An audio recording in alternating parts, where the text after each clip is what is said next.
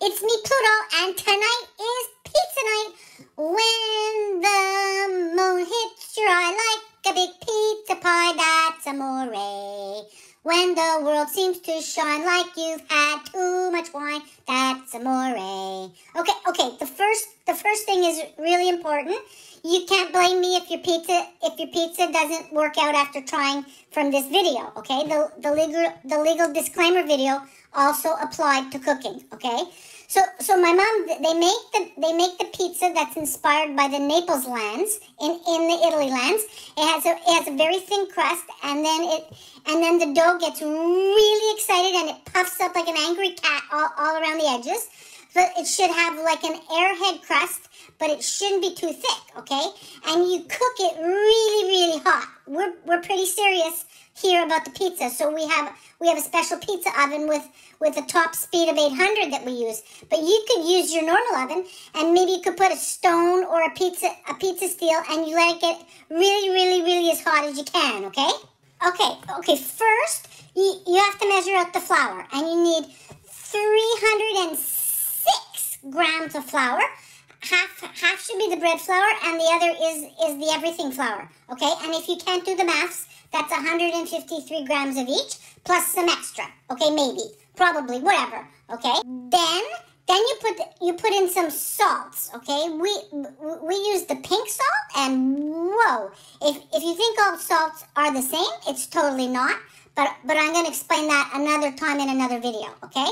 So then you then you swish those around and you swish them all up together.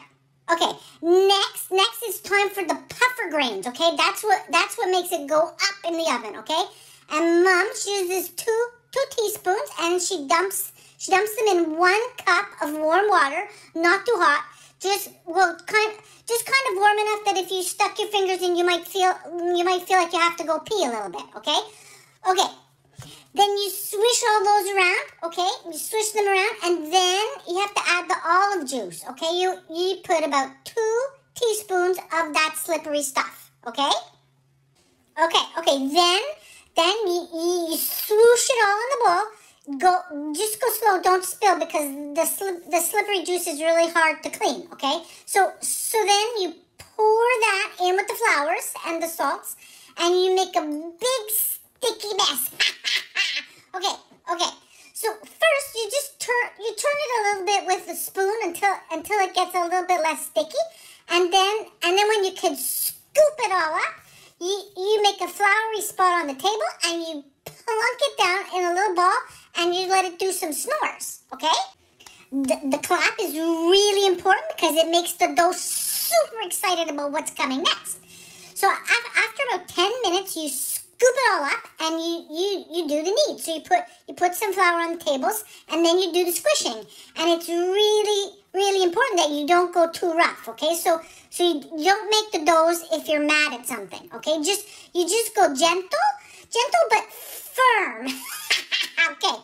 Don't don't ask me how long because I, I I I can't tell time. Okay, it could be five minutes or it could be fifteen minutes. Uh, apparently, it just depends on on the feels of the dough. Okay, it should it should start to squish like mom's Buddha belly. So so maybe you could just practice on your own belly or borrow the right kind of pizza dough belly and try it out. I mean I mean the COVIDs have created some really great practice bellies.